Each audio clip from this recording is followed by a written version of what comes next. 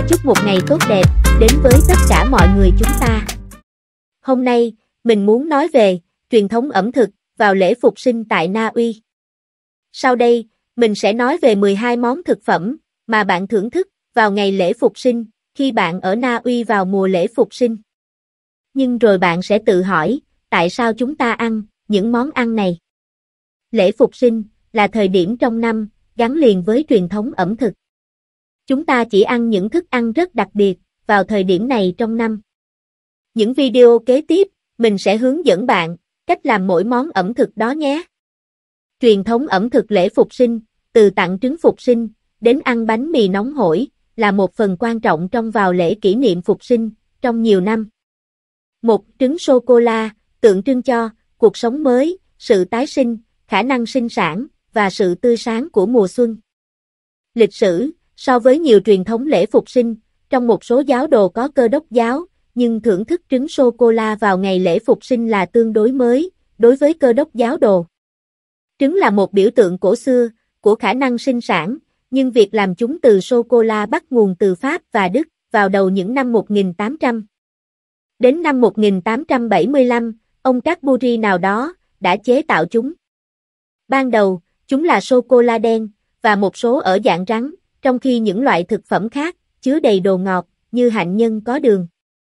Năm 1905, các Buri Dairy Milk ra đời, và thị trường trứng phục sinh bắt đầu bùng nổ. Ngày nay, chúng có lẽ là truyền thống ẩm thực phục sinh phổ biến nhất, và là biểu tượng của niềm đam mê phục sinh. Cách làm tại nhà, thật đơn giản để tự làm trứng phục sinh. Bạn có thể làm ngay cả khi không có khuôn, thì mình sử dụng trứng thật. Sau khi bạn đã rút lòng trứng ra khỏi vỏ, hãy rửa sạch vỏ trứng, và đổ đầy sữa, sô-cô-la trắng hoặc sô-cô-la nâu vào bên trong lòng trứng. Nếu bạn thích một quả trứng truyền thống, thì quả trứng lớn hơn, sẽ trở nên sáng tạo, với hướng dẫn chuyên sâu của chúng ta, về những quả trứng phục sinh tự làm.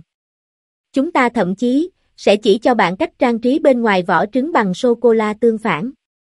Công thức trứng sô-cô-la mini tự chế Hãy làm những quả trứng sô-cô-la nhỏ tự làm này, như một món quà đặc biệt trong lễ phục sinh năm nay. Mỗi quả trứng sô-cô-la được tạo thành từ sô-cô-la trắng, đen và sữa, khiến chúng trở nên hấp dẫn hơn. Hãy làm những quả trứng sô-cô-la nhỏ, tự làm này, như một món quà đặc biệt trong lễ phục sinh năm nay. Mỗi quả trứng sô-cô-la được tạo thành từ sô-cô-la trắng, đen và sữa, khiến chúng trở nên hấp dẫn hơn. Công thức này tạo ra 6 quả trứng, nhưng bạn có thể tăng gấp đôi số lượng thành phần để tạo ra nhiều hơn. Công thức làm để thử. Làm thành 6. Kỹ năng dễ. Thời gian chuẩn bị 1 giờ. Tổng thời gian 1 giờ. Phạm vi chi phí rẻ. Thành phần Đối với công thức phục sinh này, mở trong tab mới, bạn sẽ cần 6 quả trứng 200g sô-cô-la sữa 200g sô-cô-la trắng 200g sô-cô-la nguyên chất 3. Tờ super, thì dầu hướng dương Phương pháp Bước 1. Lấy một cái xiên, và chọc một lỗ nhỏ ở đáy quả trứng. Dùng ngón tay bóc đi một ít vỏ, gấp trồng trứng ra bát. Lặp lại, với những quả trứng khác. Rửa sạch trứng, và đặt lỗ xuống giá đựng trứng, ở nơi ấm áp, để làm khô. Tủ phát sóng sẽ tốt. Bước 2, tìm ba cái bát chịu nhiệt, có thể cân bằng trên ba cái chảo nhỏ, đổ 1 phần 3 nước vào mỗi chảo, và đun nóng nhẹ. Cắt sô-cô-la thành hình vuông. Cho sô-cô-la khác nhau, vào ba bát khác nhau, mỗi bát một thì dầu ăn. Phần còn lại trên chảo, và đun nóng để tan chảy. Bước 3, xoay vỏ trứng, khoét lỗ hướng lên trên giá đựng trứng. Cho mỗi muỗng sô-cô-la, hoặc đổ sô-cô-la khác nhau vào trong trứng. Bạn có thể xếp lớp, các hương vị khác nhau, hoặc chọn một hương vị khác, cho mỗi quả trứng, và tùy bạn, để trứng sô-cô-la vào tủ lạnh ít nhất một tiếng cho đông lại. Sau đó chạm vào vỏ trứng, và bóc vỏ trứng ra, để lộ những quả trứng sô-cô-la đặc. Thật thú vị, khi tìm hiểu nguồn gốc của một trong tất cả các món ăn vào dịp lễ phục sinh này. Và để thực sự hiểu các truyền thống đằng sau lý do tại sao chúng được phục vụ vào dịp lễ phục sinh, và tại sao chúng ta tiếp tục được ưa chuộng như vậy. Mong rằng bạn sẽ đón xem những video kế tiếp về 11 món ẩm thực vào dịp lễ Phục sinh, và cách làm những món ẩm thực đó, vào dịp lễ Phục sinh này nhé.